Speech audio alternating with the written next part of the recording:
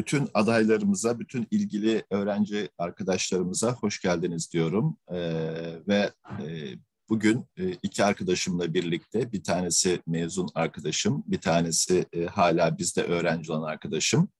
E, sizlere İstanbul Teknik Üniversitesi Endüstri Mühendisi hakkında elimizden geldiğince bilgi paylaşımında bulunacağız. Umarım yararlı bir zaman geçirmiş oluruz birlikte. Evet, e, Türkiye'nin e, en eski endüstri mühendisliği bölümü dersek çok da yalan olmaz. E, Orta Doğu Teknik Üniversitesi ile bir yıl arayla kurulmuş bir bölümümüz. Oldukça e, köklü bir okul olduğumuzu dikkate alırsanız aslında belki de diğer bölümlerin içerisinde hatta biz biraz yeni bile kalıyoruz.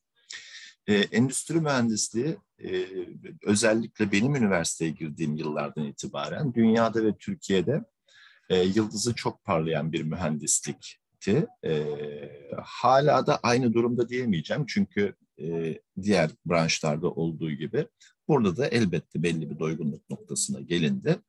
E, ama bunun yanında hala üniversitemizin ve e, Türkiye'nin e, gereksinim duyduğu yeni nesil mühendislik olarak e, sayabileceğimiz mühendislik bilimlerimizin, disiplinlerimizin başında geliyor endüstri mühendisliği. Şimdi çok bilindik e, sorular var, çok bilindik meraklar var. Nerelerde çalışabilirim, ne işler yapabilirim, nasıl yönetici olurum, nasıl ofis ortamlarında çalışırım. Bunlar çok bildiğimiz, çok beklediğimiz, e, çok aşina olduğumuz sorular. E, tabii bu şöyle bir yanılgıyı da getiriyor. Endüstri mühendisliği joker bir mühendislikleri her yerde çalışır, her işi yapar Arkadaşlar böyle bir genel şey e, çok doğru değil. Endüstri mühendislerinin e, hemen hemen bütün sektörlerde çalışabilmesi, endüstri mühendislerinin birçok pozisyonda görev alması belki böyle bir yorumun yapılmasına neden oluyor ama endüstri mühendisi öyle jokerdir e, yedek oyuncu gibi kenarda durur sonra birden sahaya girer. Mağlup giden takım bir anda e, galibiyete taşır. hayır öyle bir şey yok. Endüstri mühendisliği işin özünde her sektörde, her pozisyonda, her seviyede özellikle sistem kurma, verimliliği arttırma ve bunları geliştirme gibi çalışmalar yaptığı için endüstri mühendisliği hemen hemen bütün sektörlerde ve pozisyonlarda iş buluyor diye yorumluyoruz.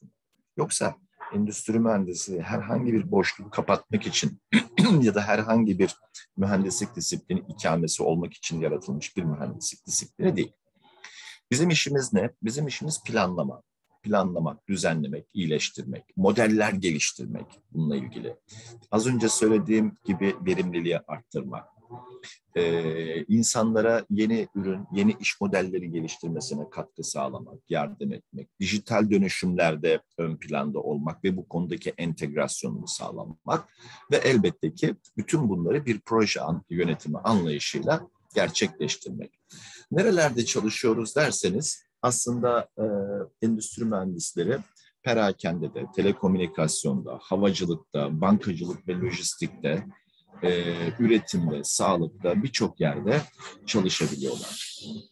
Departmanları e, ele aldığımızda özellikle bu son yıllarda bilgi teknolojileri, stratejik planlama, e, satış pazarlama tabii bunlarda çalışmaları bizim e, akademik tarafta olan insanlar olarak çok desteklediğimiz anlamına gelmiyor. Onu da söyleyeyim. Yani mesela mezunlarımızın büyük bir kısmı insan kaynakları yönetiminde çalışıyor. Bunu çok destekliyor muyuz? Çok istiyor muyuz? Hayır. Çünkü bizim iş yapacağımız daha önemli alanlar var.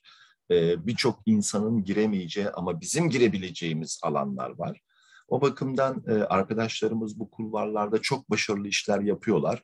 Ama ben en azından kendi adıma söylemiş olayım bunu. Mesela daha soft bir tarafta çalışmak yerine tedarik zincirinde çalışmasını, kalitede çalışmasını, özellikle ARGE ve ÜRGE'de çalışmasını, bilgi teknolojileri, veri analitiği gibi yerlerde çalışmalarını son derece anlamlı ve değerli bulduğumu söyleyeyim. O bakımdan evet mesela satış pazarlamada çalışan çok arkadaşımız var. Çok da başarılılar. E, ama e, işin verim kısmına baktığımızda bizim çalıştığımız diğer birçok alanda başka e, branşlar çalışamazken Nedense bizim mezunlarımız biraz herkesin de görev yapabildiği yerlere doğru el atıyorlar. Ee, bu da benim anlayamadığım bir şey ama başarılı olduklarını itiraf etmeliyim. Şimdi e, nasıl bir eğitim yapıyoruz? Kısaca ondan bahsedelim. Derslerimiz ne düzeyde? Arkadaşlar İstanbul Teknik Üniversitesi'nde hemen hemen ilk iki sene bütün dersler ortak. Dolayısıyla birinci sınıfta siz daha çok mühendislik dersleri alıyorsunuz. İşte fizik, kimya, matematik, işte bilgisayar programlama ve bunun yanında da bir de kendi bölümünüze ait onun giriş dersi olarak adlandırılan temel düzeyde bir mühendislik dersi alıyorsunuz. İkinci sınıfa geldiğinizde bu biraz biraz endüstri mühendisliği dersleriyle hafif hafif donatılmaya başlıyor.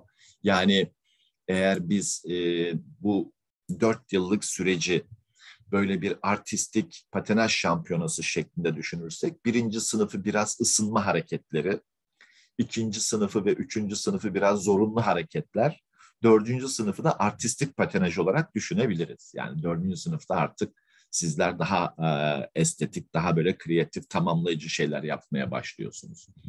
Üçüncü sınıfa geldiğimizde daha çok temel ve seçmeli dersleri almaya başlıyoruz. Dördüncü sınıfta da yine seçmeli dersler, temel derslerimiz, bitirme projeleri, endüstri mühendisliği projeleri gibi tamamlayıcı ve bitirici çalışmalar yaparak mezuniyetimizi e, taçlandırıyoruz. Seçmeli dersleri iki ana başlıkta aldığımızı söylersek yanlış olmaz. Bunlardan bir tanesi analitik dersler, bir de fonksiyonel dersler. Arkadaşlar bunların her ikisi de aynı derecede önemli. Ee, bunun bir tanesi yani analitik dersler dediğimiz aslında bizde teknik ve destek dersler bunlar. Yani veri analitiği destek bir derstir. Uygulamalı istatistik destek yani kullanabileceğiniz bir derstir bu. Ama diğerlerine döndüğümüzde mesela pazarlama yönetimi, stratejik planlama, tedarik zinciri, insan kaynakları, üretim, kalite mühendisliği gibi derslerde fonksiyonel derslerdir. Yani temel e, yarın bir gün endüstriyel yaşamda kullanacağımız derslerdir. Ama bu dersleri kullanırken de burada yapacağımız sayısal çalışmaları gerçekleştirmek için bu analitik derslerden de yararlandığımızı söylemeliyiz. Evet, e, niye endüstri mühendisliği ve neden İstanbul Teknik Üniversitesi? Şimdi ben isterseniz orada e, küçücük kendi e, fikrimi katmış olayım. Yıllardır bu tür e, tanıtım konuşmaları yapan bir akademisyen olarak. E, bizim karşımıza üç tip öğrenci geliyor üç aday geliyor. Üç farklı tipte aday. Bunun bir tanesi diyor ki ben endüstri mühendisliği okumak istiyorum.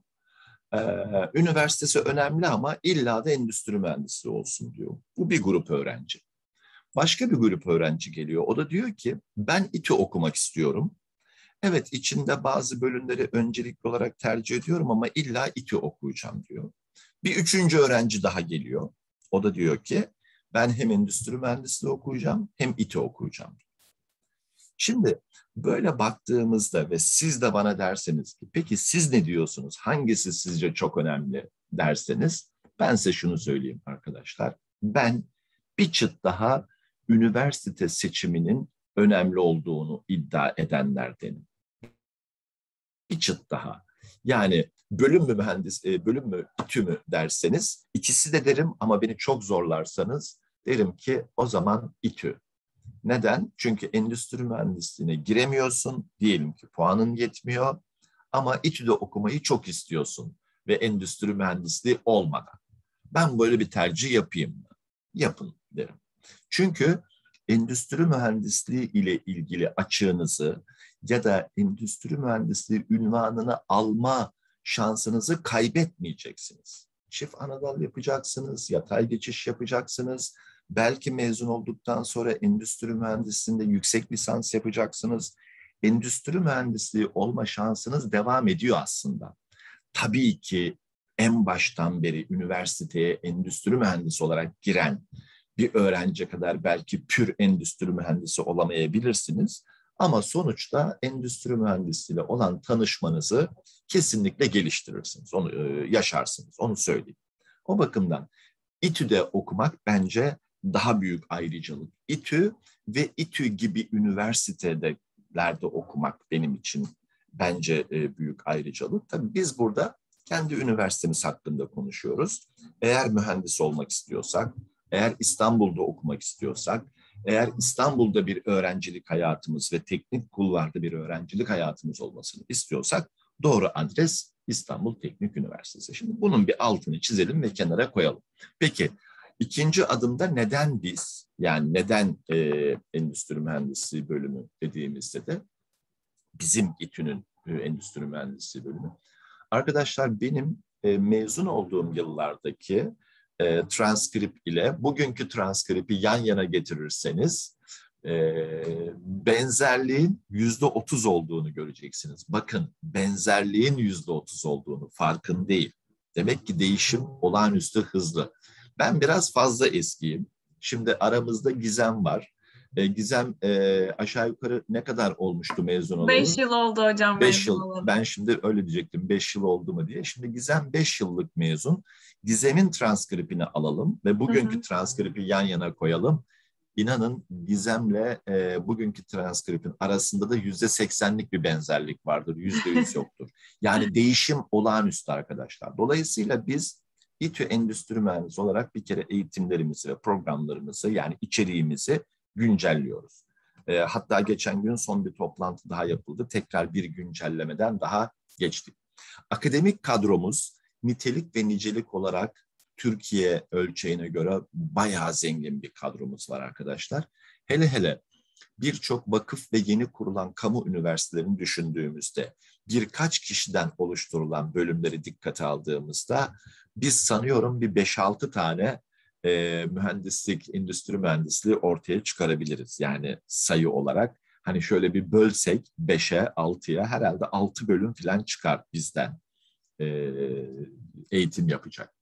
Çift Anadal, Erasmus, staj olanakları, e, çaplar vesaire bunlar zaten var. Bütün bölümlerimizde var.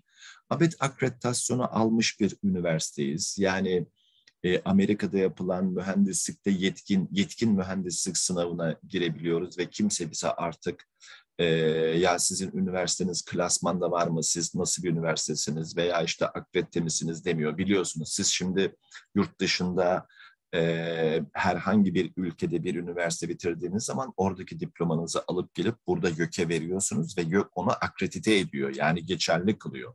Dolayısıyla böyle bir akreditasyon bizim için de var, başka ülkeler için de var ama e, buradan aldığınız diplomanın rahatlıkla akredite olduğunu size söyleyebilirim. Öğrenci gruplarımız var, bunları siz zaten e, hepsini yaşayacaksınız, göreceksiniz. Benim burada söyleyeceğim tek bir şey var arkadaşlar. İşte e, sosyal şeyleriniz nasıl, kulüpleriniz nasıl, e, spor tesisleri nasıl gibi bize böyle bir sürü soru gelir. Biz de bunları böyle ballandıra ballandıra anlatırız. Ama gelen öğrenci arkadaşlarımızın hiçbirini de sürdürülebilir bir şekilde bu tesislerden yararlandıklarını, bu kulüplerde cirit attıklarını da pek göremeyiz. Akademik konferanslar, bizim düzenlediğimiz, sizin katılacağınız şeylerden diye düşündüğümüzde neden teknik üniversite endüstri mühendisliğini seçmemiz gerektiği ortada. Son bir şey daha ekleyelim buraya. Arkadaşlar programlarınızı belirli anlayışlar üzerine oturtmak durumundasınız üniversite olarak. İTÜ Endüstri Mühendisliği e, pazar e, odaklı, pazar e, pazara endeksli yani iş hayatı ve Türkiye'nin üretim ve yönetim problemlerini çözmeye endeksli bir program yönetmektedir, uygulamaktadır. Dolayısıyla işte biz çok e, ağır ve akademik e, algoritmalara dayalı bir program yürütüyoruz. Hayır, böyle bir program yürütmüyoruz çünkü bunu gerekli görmüyoruz. Ya da biz çok makine tabanlı bir program yürütüyoruz. Hayır, bunu da yürütmüyoruz. Çünkü ha, böyle yürütenler var. Biz e, evrilen iş dünyasına baktığımızda daha farklı olduğunu görüyoruz ve programlarımızı buna göre güncelliyoruz derslerimiz itibariyle. Onun için endüstri mühendisliği, İTÜ endüstri mühendisliğini e, tercih edersem ve bitirirsem Türkiye'de ben e, rahat iş bulabilen ve bulduğu işlerde başarılı olabilen bir mühendis olur muyum dediğinizde yanıt evet. Onun için endüstri mühendisliğini seçmelisiniz. Akademik kadroyu söyledim arkadaşlar. Bunlar e, burada bir takım şeyleri veriyoruz ama bunlar her an güncellendi ve değiştiği için hani 16 tane öğretimimiz var, e, 10 tane doçentimiz var gibi e, şeyleri çok e, anmak doğru değil. Her an değişiyor. E, şu anda yeni yeni e, yurt dışında doktorasını tamamlamış hocalarımız var. E, İTÜ'de ve Türkiye'deki başka üniversitelerde doktoralarını tamamlamış hocalarımız var. Oldukça iyi bir kadromuz olduğunu söylemiştim ve e, bir takım AB projelerini de yürütmekteyiz. Türkiye'de yürüttüğümüz proje zaten çok sayıda. Onları şu anda e, sayamayacağım bile. Ve e, işte İTÜ Endüstri Mühendisliği bölümü mezunlarına geldiğimiz zaman hani bunlar nerede çalışıyorlar, ne yapıyorlar, e, ne iş yapacaklar, e, yönetici olacaklar mı dediğinizde işte son slaytımızı da bu reklamları görüyoruz biraz. İşte bu arkadaşlarımızın bazıları genel müdür oluyor, bazıları direktör oluyor, bazıları CFO oluyor, CEO oluyor. Ama şun, e, sonuçta ben size şunu söyleyeyim arkadaşlar. Eğer sabır gösterirseniz, eğer emek verirseniz eninde sonunda mutlaka bir şeyler oluyor. Bunu hiç merak etmeyin. Son söz İTÜ Endüstri Mühendisleri mezunu, Gizem bakalım ne diyecek bu söylediğime. İTÜ Endüstri Mühendisliği bölümü mezunları üniversiteyi bitirince iş bulamıyorlar. Maalesef bitirmeden buluyorlar. Doğrudur hocam. onun için Çok ha, ben doğru. bunu ben bunu övünerek söylemiyorum. Yani işte bizimkiler bitirmeden iş buluyor diye. Ne oluyor biliyor musunuz? Ee, bitirmeden iş buldukları için biz dördüncü sınıfta öğrenci arkadaşlarımızı derslerde çok göremiyoruz. Niye? Çünkü zaten işlere başlamış oluyorlar. Ondan önce uzun dönemli staj diye başlıyor. Sonra part time'a dönüyor. Sonra full time'a dönüyor. Sonra hocam bu hafta quiz yapar mısınız? Ben derse gelemeyeceğim. İşteyim diye dönüyor. Maalesef böyle anları yaşıyoruz. Bunu niye söylüyorum? E, bu bir realite. Yani evet e, siz İTÜ'de okuduğunuz zaman işle ilgili çok aşırı seçici değilseniz, yok işte ben hemen evimin çok yanında bir şey isterim, şu kadar para isterim, şöyle makam isterim gibi şeyleriniz yoksa arkadaşlar işsizlik vesaire gibi şeyler bizim mezun arkadaşlarımız için çok da geçerli değil. Diyelim ve burada noktayı koyalım. Soru cevap mı gidiyoruz? Nasıl gidiyoruz? Ee, Dilan, Gizem var burada, Şevval var. Rica ediyorum. Top ee, sizde. Arkadaşlar sorularınızı isterseniz chat'e yazabilir veya isterseniz el kaldır butonuna bastıktan sonra mikrofon açıp sorabilirsiniz. Hemen sorular gelmiş hocam. Eren demiş ki %30 İngilizce ile %100 İngilizce arası yatay geçiş yapan çok öğrenci oluyor mu? Yoksa genelde İngilizce ders alıp %80-90'a İngilizceye mi çıkarıyorlar?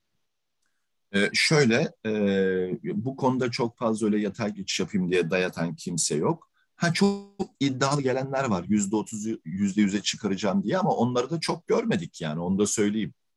yani öyle ben geleceğim de o bir sürü ders İngilizce seçeceğim İngilizce milletçe. Ha tabii tabii hep öyle iddiaları biz çok gördük ama kimse de bunu seçmiyor yani. Hani birkaç tane seçiyorlar o kadar. Ee, ama çok yok yani isterlerse geçebilir ama çok yok öyle bir talepler. Teşekkürler hocam. Zeynep demiş ki okuduğunuz üniversite daha önemli dediniz. Ben açıkçası bilgisayara veya yapay zekaya yatay geçiş yapmak için endüstri seçebilirim diye buradayım. İki sorun var. Birincisi üniversitenin neden daha önemli olduğunu düşünüyorsunuz? Üniversitenin e, adı yurt içi ve yurt dışında o kadar da fark ediyor mu? Demiş. İkincisi endüstriden okuldaki bilişim bölümlerine yatay geçiş yapsak ortak mühendislik derslerinden dolayı direkt ikinci sınıftan mı başlarız? E, ben o ikinci soruyu yanıtlayayım. Birinci soruyu Gizem'e bırakalım. Olur o çünkü hocam. şu anda endüstriyel yaşamın içerisinde o karar versin. Yani İTÜ'den Tabii. mezun olmanın avantajı ya da dezavantajına. Ee, bilişim e, mühendisliğine yatay geçiş yaparsa zaten e, belli temel dersleri buradaki not ortalamasına göre yapacağı için e, o dersleri zaten okumayacak ve ikinci sınıftan oradan devam edecek. E, orada bir sıkıntısı olacağını düşünmüyorum. Yani e, iki bölümü paralel bir şekilde götürebilir. Neden İTÜ denildiğinde de top gizemde olsun. Yani gerçekten hani e, Zeynep sormuşsun ya üniversitenin ismi o kadar önemli mi diye. O kadar önemli. Biz aslında bugüne kadar o kadar önemli değil dediler. Hani okuduğunuz bölüm kendinizi geliştirmeniz. Tabii ki bunların hepsi size artı. Ama mezun olduğunuzdaki sizin en büyük etiketiniz üniversiteniz. Nereden mezun oldu? İTÜ'den mezun olmak bir ayrıcalık. Bunu mezun olurken yaşıyorsunuz. Mezun olurken gerçekten e, hani Bülent hocamın dediği gibi iş teklifleri size yağıyor. Siz de biraz atıp, adım atıyorsunuz ama e, sektörde çok farkı var. Yani e, iş görüşmelerinde, tercihlerinde, süreçlerde e, hakikaten çok önemli üniversitenin ismi. Güzel bir etiketle mezun olmak çok önemli. Gizem bu arada şeyde söyler misin sen hangi kurumda çalıştığında bilsinler.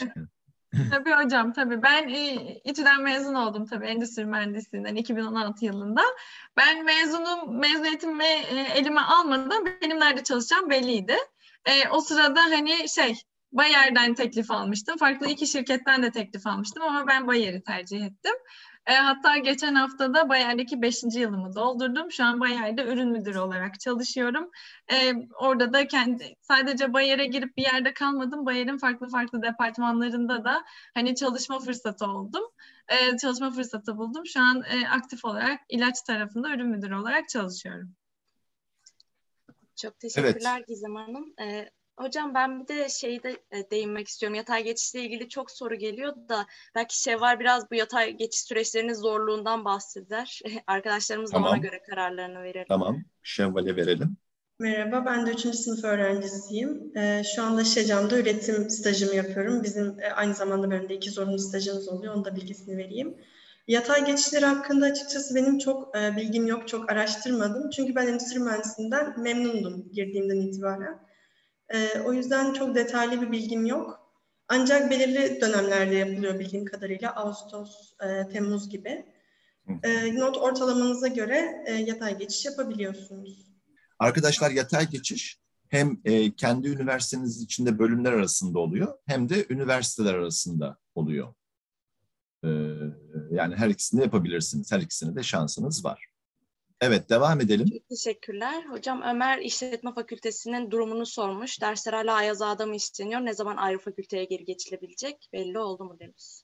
Ee, bu işte fiili olarak yaşayan e, Şevval söylesin. Çünkü Şevval şu anda Maslak kampüsünde herhalde fakülteler arasında mekik dokuyordur. O söylesin. Evet. Biraz inşaatta, biraz e, elektrik elektronikte gidip geliyoruz. Şu an bildiğim kadarıyla henüz ne zaman geri döneceğimiz belli değil bir süre daha Ayaz Ağa'dayız.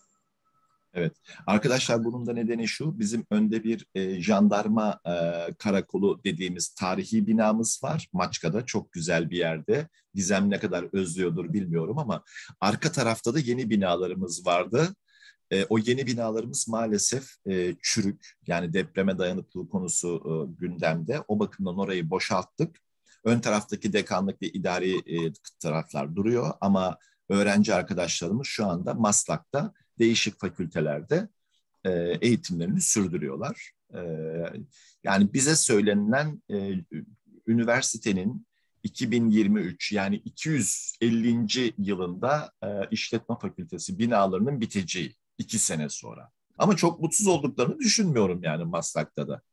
Yok çünkü farklı bölümden arkadaşlarınızla daha çok birlikte olabiliyorsunuz. İşletme fakültesine biraz daha onlardan izole kalıyorduk. E, bence avantajı var buna göre. Evet. Evet. Peki devam edelim. E, yatay geçiş, çap ve yandalla ilgili bir link bıraktım arkadaşlar. Buradan hangi bölümlere yatay geçiş yapabileceğinizi ya da hangi bölümlerle çap yapabildiğinizi, geçen seneki e, bunun için yapılan ortalamaları vesaire hepsini görebilirsiniz. E, hocam Ahmet demiş ki teknik üniversite olması endüstri mühendisliğinde de fark yaratıyor mu? Ee, işte az önce e, Gizem söyledi, teknik üniversite olması elbette ki yani şimdi Aynen. sıradan bir endüstri mühendisiyle e, İTÜ mezunu bir endüstri mühendisi müracaat ettiğinde herhalde karşıdaki insan kaynakları müdürü ya şu, önce şu İTÜ'lüyle bir mülakat yapayım da ondan sonra diğeriyle yapayım diyecektir. Bakın bunu çok övünerek ya da çok şey söylemiyorum yani keşke üniversite arasında bu kadar farklılıklar olmasa ama işte bir takım da gerçekler var. Yani siz ben İTÜ'yü bitirdim dediğinizde bir adım öne çıkıyorsunuz. Kesinlikle. Çok üzgünüm ama bu böyle yani. Bu, yani bu gerçeği kabul etmek durumundayız. Yoksa Kesinlikle. Şevval'de gider, Gizem'de gider. Daha bu aldıkları puanlarla çok daha rahat Anadolu'daki bir üniversiteyi bitirirlerdi. Çok da rahat okurlardı. Yani çok lay laylom okurlardı. Çünkü şunu itiraf edeyim arkadaşlar. Zaten bize gelen öğrenciler çok kapasiteli, hı hı çok çaplı, çok düzgün yani düzgündeki kastım çok yetenekli ve bilgili öğrenci. Ee, bazen bana derler ki e, işte özel e, bölüm üniversitelere ders vermek falan. Arkadaşlar özel üniversitelerde ders vermek niye çok zor biliyor musunuz? Onu söyleyeyim size. Çünkü özel üniversitedeki öğrencinin niteliği ile bizim öğrencimizin niteliği arasında üzgünüm ama çok fark. Biz lab dediğimizde bizim öğrenci Çorum'a leblebi almak için otobüs biletini çoktan alıp gidiyor. Bizim öğrencimiz öyle ama kusura bakmayın da yani 250 bininci olmuş bir öğrenciyle 8-9 bininci, 10 bininci olmuş öğrenci arasında ciddi fark var. E sen bir de bunu İTÜ'de gösteriyorsun zaten. Ben İTÜ Endüstri deyince karşıdaki diyor ki ya bir dakika bu zaten bir, bir şey olmuş diyor yani. Direkt hayata diyor farklı bir noktadan start alıyor diyor. Evet hocam, belki eğitim farklı şeyi değil, eşitliğine uygun değil, şu bu ama gerçekte bu arkadaşlar. Ne diyeyim yani şimdi? Evet Gizem. E, ve hocam şey yani İTÜ'den mezun oldum deyince karşıdaki de biliyor. O oraya iyi olarak girdi ama o dört seneyi, o beş seneyi de iyilerin arasında savaşarak çıktı. Hani üstüne katarak, mezun olurken daha da üstüne katarak çıkmak durumundasınız. Çünkü sağınız solunuz herkes çok iyi. Yani ister istemez hani insanı belirleyen çevresindekilerdir ya, siz de daha iyi oluyorsunuz ister istemez ve karşıdaki de bunu evet. biliyor. Karşıdaki sizin neleri düşünebileceğinizi bu endüstri mühendisliği e, kafasını, zihniyetini işinize nasıl yansıtabileceğinizi de biliyor. Çünkü önceki mezunlardan görmüş, o farkları görmüşler. Hani İTÜ'den mezun olanlar bize bunu katabilir, şunu katabilir. Yani İTÜ iyi okullardan diyeyim, hani genelleyeyim. Zaten onları gördüğü için siz onda direkt bir ışık yakıyorsunuz, bir fark çıkarıyorsunuz. Evet.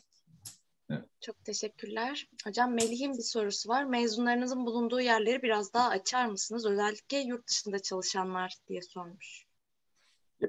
Ya çok hemen aklımdaki iki şeyi söyleyeyim. İki tane öğrencimizle LinkedIn'den konuşuyoruz şu anda. İkisi de Almanya'da. Bir tanesi otomotivde çalışıyor Almanya'da, bir tanesi de dayanıklı tüketimde çalışıyor. E, aynı zamanda yüksek lisanslarını yapıyorlar. E, bir tanesinin Almancası vardı, diğerinin yoktu. Diğeri İngilizce yapıyormuş. İngilizce yaptığı için onun galiba biraz daha fazla para ödüyormuş. E, Almanya'da İngilizce yaptığı için. Almanca e, yapan e, yılda hocam diyor benimki 325 euro diyor okul ücreti Almanca bildiği için. O galiba Alman e, İstanbul Erkek mezunu sanıyorum. Almanca sorunu yok. E, ikisi de gayet başarılı. Tabii bunlar tam iş adamı olmuşlar. Yani e, profesyonel olmuşlar. Bir de e, Türkiye-Ukrayna e, İş İnsanları Derneği'nin e, genel sekreteri bizden mezun Burak arkadaşımız ama o biraz eski mezunlardan. Onunla da LinkedIn'de konuşuyoruz. O da çok başarılı. O da İstanbul Erkek Lisesi bildiğim kadarıyla. Ee, çok üst düzeyde görev yapıyor orada.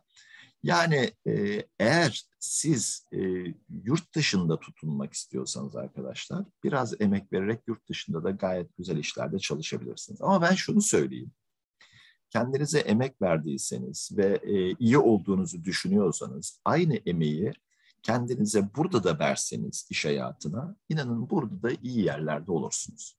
Sadece yapmanız gereken bakın bir şeyi atlıyorsunuz dinlerken. Gizem'i dinlediniz ve Gizem'in orada ben ürün müdürüyüm lafını diyor. Aa ne güzel ürün müdürü olmuş dediniz değil mi? Ne kadar keyifli bir şey söyledi şimdi. Herkesin ideali işte, işte ben de tam ben. İşte bak Bayer, ilaç, tertemiz bir sektör. Ürün müdürü ne güzel para kazı. Evet ama onun arkasında tam beş yıl var. Aynen. Tam beş yıl var. Bir de onun öncesi var. Biraz stajlı mı tajlı vesaire o şeyler Tabii. var. Demek ki bir emek var orada. Yani e, Gizem eğer bu emeği vermeseydi ve bir yıl sonrasında hemen hadi ya ben müdür olmuyor muyum deyip başka bir yere çıksaydı müdür olabilir miydi? Yönetici olabilir miydi? Onun için Mümkün şimdi belki de biz e, kısmet. Gizem'le beş sene sonra tekrar konuştuğumuzda Gizem bu sefer diyecek ki hocam ben e, üretim direktörüyüm. Allah hocam. yani bu, bu bu bu böyledir bu işler. Yani veya oradan ayrılacak başka bir ilaç şirketinin başına GMY olarak gidecek genel müdür. Ama bunlar bir emeğin sorunudur. Tabii sonucudur. kesinlikle. Yani böyle bakarsanız inanın hepiniz şu anda bizi dinleyen herkes aynı şey yarın bir gün Şevval'in başına gelecek. Yaşayacak bunu. Ama siz her üç ayda bir iş değiştireyim, oradan oraya zıplayayım, oradan oraya zıplayayım, bana ne orası 500 lira fazla verdi, şurası bana şunu yaptı filan deyip böyle zırt pırt iş değiştireyim filan derseniz orada istikrarlı bir iş yaşamı olmuyor. Olmayınca kariyer planı olmuyor. Kariyer planı olmayınca ünvan olmuyor, rütbe olmuyor. Dolayısıyla ekonomik koşullar değişmiyor, huzur gelmiyor vesaire vesaire. Biraz emek, hayatın her anlamına emek ama bu alanlarda özellikle emek vermek gerekiyor. Dolayısıyla illa ben İTÜ Endüstri Mühendisiyim ve burada tutunum hayır öyle bir şey yok. Öyle bir şey yok arkadaşlar. Yok hocam evet. Yani aksine okuldan aldığımız teorik bilgi ve okuldaki eğitim çok önemli ve çok kritik. Ama onu bizim e, iş hayatına ya da kendi hayatımıza bir şekilde entegre etmeyi bilmemiz, öğrenmemiz lazım. Evet. Ama bu temeli almak en önemli şey. O temelin üstüne de biraz kendimiz koymamız lazım. Yoksa sadece okuldan mezun olarak da hani bir şey olmuyor işte. Olmayanlar oluyor ama yüzde doksanı, yüzde doksan beşi hepimiz zaten üstüne koymaya hevesli oluyoruz. Evet. Teşekkürler hocam. Ee, sorular da biraz birikti. Yiğit demiş ki %30 ile %100'ün diplomalar arasında bir fark var mı? Diplomalar arasında bir fark yok. Aynı diplomayı alırsınız fakat transkriptinizde aldığınız derslerin dili gözükür sadece. Hocam Kudret demiş ki mezunlarınız finans veya bankacılık sektörüne kolaylıkla geçiş yapabiliyor mu? Ekonomi derslerinizi yeterli buluyor musunuz? Buluyorum. Ee, rahatlıkla da iş buluyorlar ama yani ben bir e, İTÜ öğrencisinin e, özel yani endüstri mühendisliği öğrencisinin hani e, bankacılık sektöründe e, çalışması yani finans sektöründe çalışmasını ne kadar e, uygun bulurum bilmiyorum. Yani kendisine kalmış bir şey. Diyorum ya ben e, bir endüstri mühendisinin başarılı olabileceği kendisine özgün daha güzel kulvarlar var. O kulvarlarda gitmek gerekirken hani ben işte filanca yerde satışçı olacağım, Evet olabilirsin. Yani çok da iyi koşullarda para kazanabilirsin ama sen daha başka kulvarlarda daha güzel işlerde yaparsınız iddiasındayım. Onun için ben biraz böyle bakıyorum. Yoksa bu sorulan soruların hepsine tabii ki diyeceğim. Yani hiçbir sıkıntı yok. Elbette ki. Var, örnekleri de var yani. Aklınıza gelen gelmeyen bütün sektörlerde kesinlikle endüstri mühendisi var. Hele etüden mezun bütün arkadaşlarımız yani bambaşka işler yapıyorlar.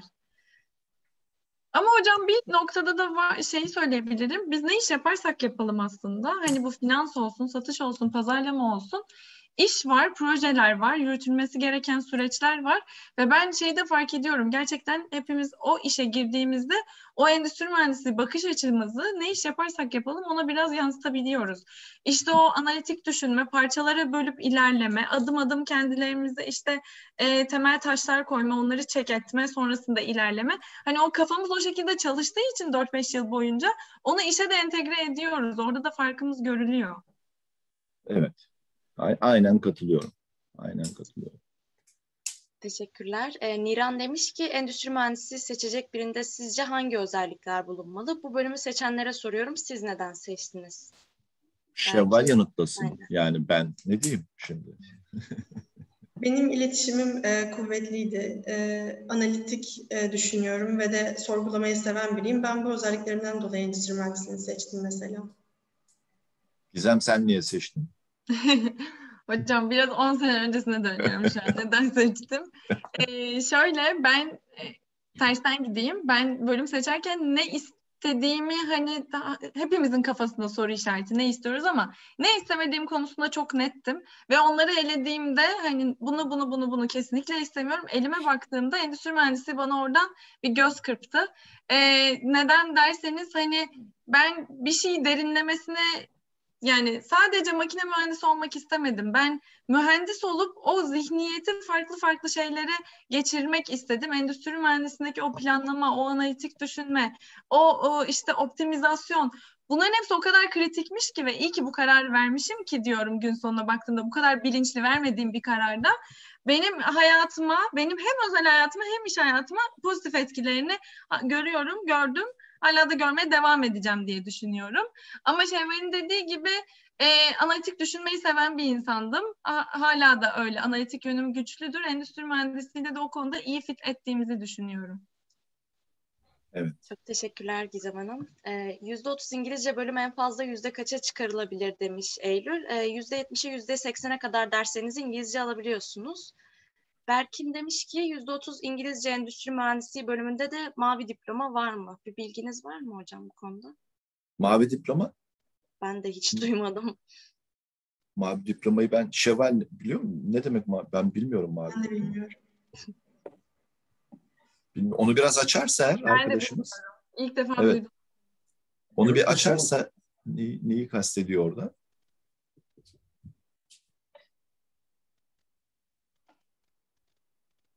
Neyse peki onu bir şey vakit kaybetmeyelim. Başka soruya geçelim. O açarsın Evet. konuyu. Tabii hocam. Hangi yabancı diller daha fazla kapı açar iş hayatında demiş Ahmet. Yine önce Gizem'den sonra Şevval'den alalım. Ben Almanca biliyorum dışında. bu arada. Hani ben İngilizce ve Almanca konuşabiliyorum. Avusturya Lisesi mezunu olduğum için Almancam var. Ama derseniz ki Bayer'de bir Alman şirketinde çalışıyorsunuz. Ne kadar Almanca konuşuyorsunuz? Hiç. Ee, sadece İngilizce ile bütün işlerimi yürütüyorum. Bence hangi dil ilginizse, hangi dile ilgi duyuyorsanız o size daha fazla kapı açar. Ben de Almanca e, dersleri aldım. Şu anda Almanca konuşabiliyorum. Onun bana daha fazla kapı açtığını düşünüyorum. Hocam çok özür dileyerek ben bir araya girebilir miyim? Bu mavi Tabii ki. diplomaya bir baktım. Uluslararası tanınırlıkla alakalıymış ama zaten bizim ABET akreditasyonumuz var. Yani mavi diplomaya ihtiyacımız yok. O daha böyle e, gördüğüm kadarıyla özel üniversitelerin daha çok verdiği bir e, diplomaymış. E, ben de ilk defa duymuştum. Ben de internetten baktım. Bir de yine araya girmişken e, yatay geçişle ilgili aşağıda da çok e, soru gördüm. Kısaca ben bir açıklasam olur mu hocam? Tabii ki. Tabii ki. Ee, şimdi şöyle arkadaşlar hazırlık görüyorsunuz. Birinci sınıfta havuz dersleri dediğimiz ortak dersleri alıyorsunuz hepiniz. Birinci sınıfın sonunda istediğiniz fakültenin istediğiniz bölümüne başvuru yapabilirsiniz. Ortalama olarak iki buçuk ister ama rekabet çok fazla. 3.90'a kadar çıkan bölümlerimiz oluyor. Birinci sınıfta yapamazsanız ikinci sınıfta artık kendi bölüm derslerinizi alıyorsunuz. İkinci sınıfın sonunda sadece fakülte içerisinde yatay geçiş yapmanıza izin verir. Yine dediğim gibi e, kağıt üzerinde ba- başvuru şartı iki buçuk ama e, bunlar çok yüksek puanlara çıkıyorlar. Endüstri mühendisliğinde giren bir öğrenci niye başka bölüme yatay geçiş yapmak ister kesinlikle anlamasam da e, şöyle söyleyeyim.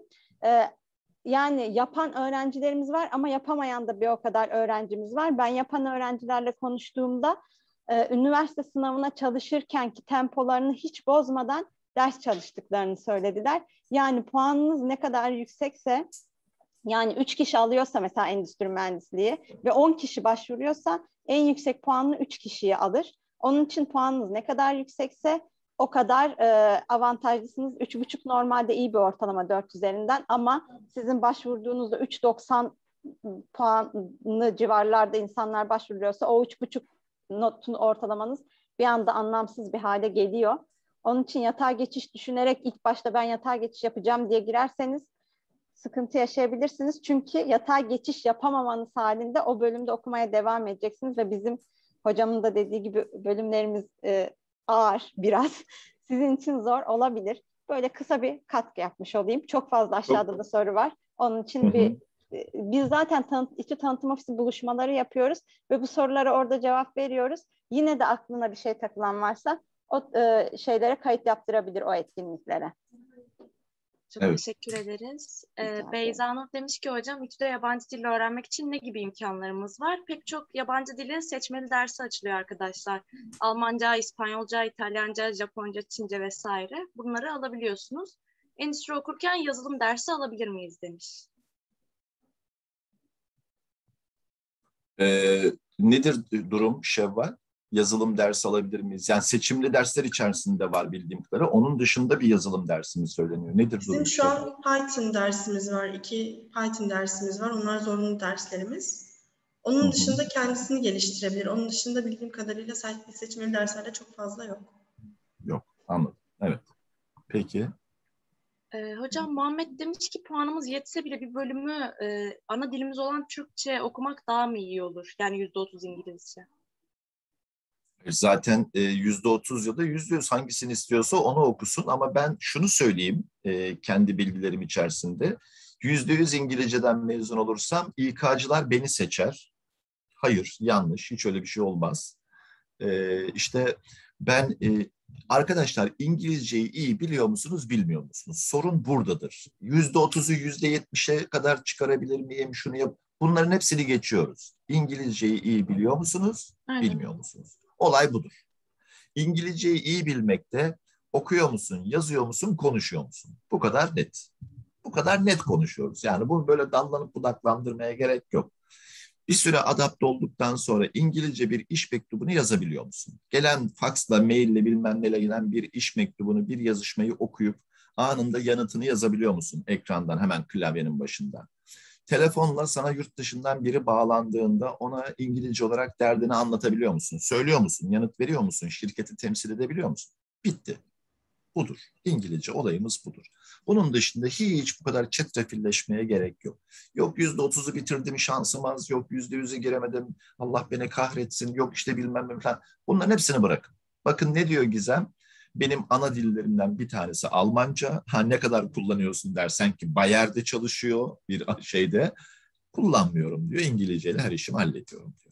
Onun için ben bu konuyu... mezunuyum hocam bu arada ve hani mezun olurken kimse yüzde yüz, yüzde otuz hiç orası düşünülmüyor, konuşulmuyor. Siz bireysel olarak İngilizceniz bir işte çalışmaya yeterli mi değil mi? Dersleri İngilizce evet. görebilirsiniz, görmezsiniz. O başka bir şey. Ama yüzde otuz, yüzde yüz mezun olduktan sonra konuşulan bir şey değil. Değil yani bu. Ben olay bu. okuyorum mesela. Evet Şevval de yüzde otuzda yani e, ve hiç de öyle bir sıkıntı yaşadığını ben düşünmüyorum yani. Hatta hiç. bence bir avantaj hani bu okula girmeden önce bilinmeyen bir avantaj. Mesela ders programınızı hazırlarken e, yüzde yüz İngilizce, İngilizce okuyorsanız sadece onları seçebiliyorsunuz. Ama ben Türkçe okuduğum için e, fizik, matematik gibi derslerde de Türkçe ya da İngilizce gibi bir seçim hakkım var. Programıma istediğim gibi daha uygun olan saatleri seçebiliyorum mesela. Bu bir avantaj. Tabii. Tabii aynen katılıyorum dediğine. Haklısınız evet. bu konuda. Hocam Yasin demiş ki endüstri mühendisliği deyince çok kalıp bir algı oluşmuş. Her dersten biraz biraz ama hiçbir dersten tam değil. Bununla ilgili ne düşünüyorsunuz? Tekrar topu gizeme bırakıyorum.